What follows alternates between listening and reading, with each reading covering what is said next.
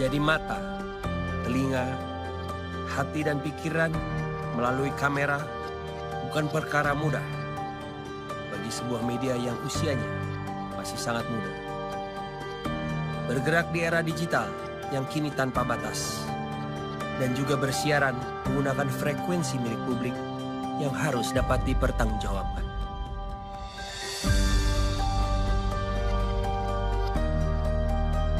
Pengaruhnya yang besar bagi pembangunan moral bangsa.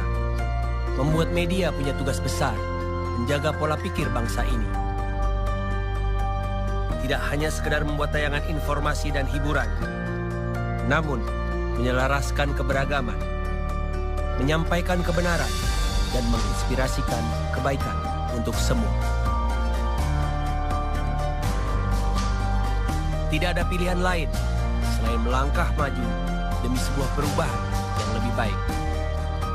Generasi muda berhak atas hidup yang jauh lebih baik ke depan karena bangsa ini harus lebih maju. Walaupun rintangan yang dihadapi tidak mudah, tetapi ketika melihat kerja keras tim mewujudkan mimpi, saya melihat semangat. Saya merasakan ketulusan bekerja dengan hati demi sebuah mimpi indah menginspirasikan bangsa ini menjadi bangsa yang jauh lebih maju. Salam good people.